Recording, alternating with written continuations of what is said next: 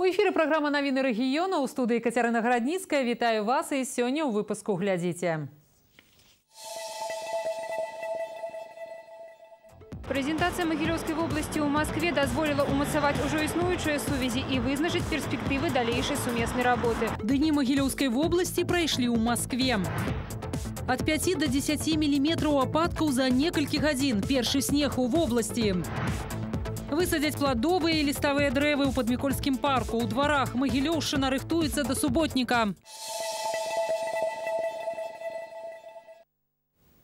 А цяпер падрабязней расійская федэрацыя застаецца галоўным стратэгічным партнёрам магілёўскай вобласці. Пра гэта паведаміў старшыня магілёўскага аблвыканкама Владзімир Даманеўскі падчас прэзентацыі рэгіёна ў Маскве.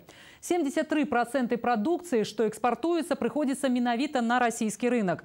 Дні магілёўскай вобласці ў Маскве дазволяць захаваць станоўчую дынаміку. Падрабязнасці з месца падзей у наступным матэрыяле.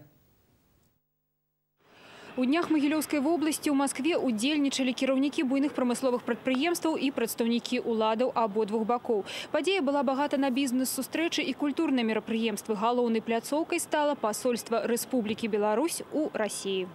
Магілёўская вобласць супрацоўнічае са 120 рэгіёнамі Расійскай Федэрацыі. І такія комплексныя прэзентацыі спрыяюць росту тавараабароту. Падчас пленарнага пасяджэння Магілёўскі аблвыканкам падпісаў дакументы аб супрацоўніцтве з прэфектурай усходняй адміністрацыйнай акругі горада Масквы і урадам Тульскай вобласці. Дарэчы, з тульскім рэгіёнам Магілёўшчына ўжо год супрацоўнічае ў прадпрымальніцтве і гандлі сацыяльнай сферы. Я хочу сказать, что в целом на уровне Э, государств хорошо развиваются отношения. Но на региональном уровне мы ближе к людям, и мы можем более тоньше и правильнее понимать, что нужно самим людям, жителям и Могилевской области и города Москва. На Москву даводится больше за 13% экспорту Могилевской области, але и у іншых российских регионах вядома добрая якость продукции, якую вырабляют наши предприемства.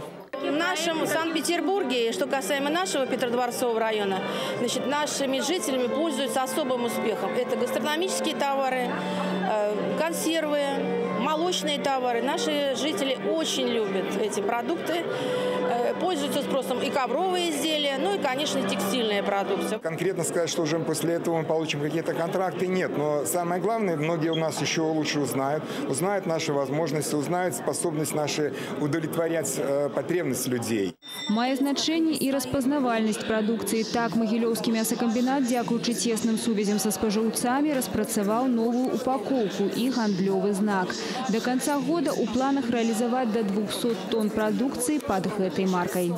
Под этим знаком в Российской Федерации будет продаваться только продукция Могилевского мясокомбината через одну дистрибьюторскую компанию. Сейчас у нас уже отработано около 20 наименований продукции. Наука и медицина так само важные сферы регионального взаимодействия. Погоднение об супрацоўніцтве подписали Могилевская городская больница хуткой медицинской допомоги и Московская клиничная больница имя Иноземцева. Фактически мы идентичные больницы, так вот, по количеству коек, по э, видам оказания медицинской помощи. Я был приятно удивлен, что они владеют всем арсеналом, который э, делается в московских больницах. Такія сустрэчы гэта абмен вопытам у шэрагу накірункаў сацыяльным, культурным, турыстычным, гандлёва-эканамічным і абодва бакі упэўнены ён пойдзе на карысць. Прэзентацыя Магілёўскай вобласці ў Маскве дазволіла ўмацаваць ужо існуючыя сувязі і вызначыць перспектывы далейшай сумеснай работы. Вытворцы чакаюць новых кантрактаў пакупнікі якаснай прадукцыі. Алена Салаўёва, Віталь Вопсіў, навіны рэгіёна Масква, Расія.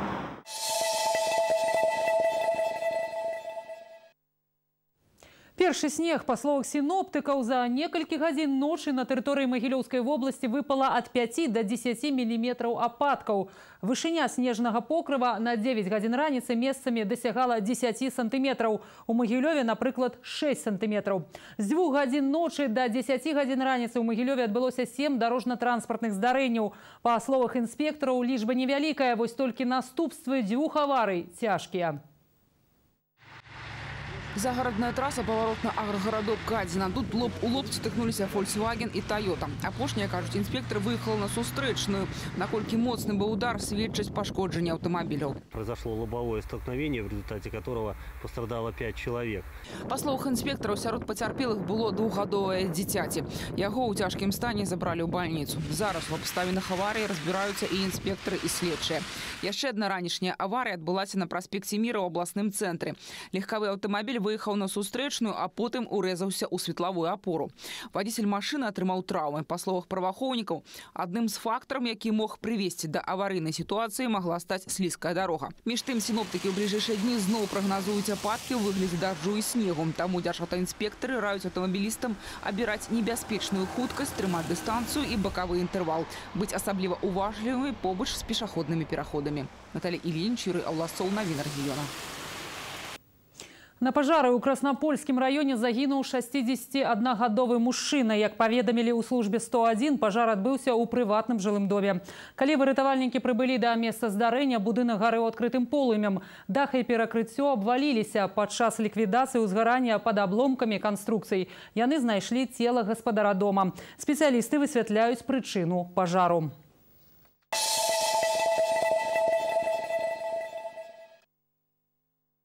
Социальная выставочная зала открылась у клішаўскім краязнаўчым музеі. Тут разгарнулася экспазіцыя творчасць без межаў. Яе ўдзельнікі асаблівыя майстры, якія не заўсёды могуць прэзентаваць свае работы шырокай публіцы. Састарэлыя людзі з абмежаванымі магчымасцямі, ветэраны. На выставе прадстаўлена 210 работ ад 48 удзельнікаў.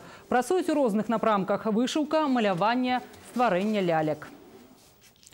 Больш за 500 дрэваў высадзяць у магілёўскім паднікольскім парку падчас суботніка. Нагадаем, на 28 кастрычніка ў магілёўскай вобласці запланавана маштабная ўборка. Гэта будзе своеасаблівая падрыхтоўка да зімы.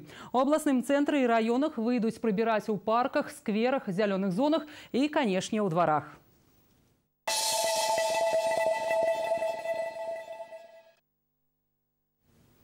У Магілёве працягваецца музычны фестываль залаты шлягер. Гэта вялікая культурная восеньская падзея. Штодня ў палацы культуры в области артысты з розных краін радуюць публіку песнямі і старымі мелодыямі. У музычны чацвер на залатым шлягеры канцэрт джазавай музыкі. З удзелам амерыканца Квенціна Мура, музычных калектываў з мінска і вядомай латышскай спявачкі Вольгі Пірахс. З гэтай нагоды Вольга Пірахс расказала ў інтэрв'ю тэлерадыёкампаніі Магілёў, што ніша ностальгічнай музыкі на яе думку не запоўнена. Людзі хочуць слухаць папулярныя ў мінулым песні і не проста трэкі ў інтэрнэце, але на жывых канцэртах, як на залатым шлягеры. Что для вас золотой шлягер? Вот песня, Ну, на самом деле, конечно, э, в моем понимании, что это очень популярные, очень любимые песни. У вот вас так есть такие? скажем. Есть ну, ли у вас конечно, свой золотой у меня, шлягер? У меня масса просто таких песен. Я очень люблю, на самом деле, петь. И когда меня спрашивают, спойте свою любимую песню, А вот я не- не а вот могу тяжело спеть. ответить да, на этот да, вопрос, потому да? Что, э, потому что музыка, конечно, живет с самого-самого детства. Э, Если говорить даже от двух лет, то я пела «Парней так много холостых, а я люблю женатого». А уже позже там появились... И э, шлягеров много внутри ну, вас да, живет, конечно, золотых. да. На, на них и мы и росли. Інтэрв'ю латышскай спявачкі Вольгі Пірахс глядзіце ў інфармацыйна-аналітычнай праграме днямі, а канцэрты залатога шлягера працягваюцца. У пятніцу выступіць аркестр баяністаў з рассіі. У суботу два канцэрта аркестра Михаила Фінберга і ансамбля сіняя птушка. А ў нядзелю адбудзецца урачыстае закрыццё музычнага рэтрафестывалю ў Магілёве. Каўчэг з часцінкай мошаў святой матроны маскоўскай будзе перанесены ў горадскі храм. У магілёўскай епархіі паведамілі блажэннай можна пакланіцца ў магілёве ў паднікольскім манастыры да суботы 28 кастрычніка. А ў нядзелю раніцай вернікі будуць сустракаць каўчэг у горадзе горкі ў храме спарыцельніца хлябоў. Менавіта ў гэтыя дні свята абраза.